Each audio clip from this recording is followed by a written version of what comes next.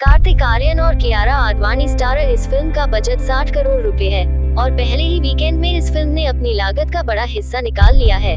कार्तिक आर्यन और Kiara Advani star film सत्य प्रेम की कथा, लगातार चौथे दिन भी लोगों का दिल जीतने में कामयाब रही है।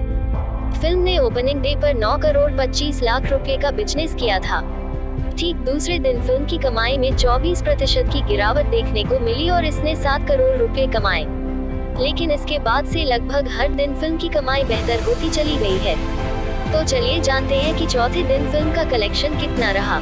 शनिवार को फ़िल्म के बिज़नेस में चौवालीस दशमलव दो नौ प्रतिशत की तेज़ी देखने को मिली थी और सत्य प्रेम की कथा ने 10 करोड़ 10 लाख रुपए का बिज़नेस किया। वही बात करें, चौथे दिन के कलेक्शन की तो एक रिपोर्ट के मुताबिक फ़िल्म की रविवार के दिन की कमाई 12 करोड़ रुपए रही है, जो कि अभी तक सबसे ज़्यादा है। रविवार तक के आंकड़ों को जोड़ दे तो लगभग 60 करोड़ रुपए के बजट में बनी यह फ़िल्म अभी तक अड़तीस करोड़ 25 लाख रुपए का कलेक्शन कर चुकी है।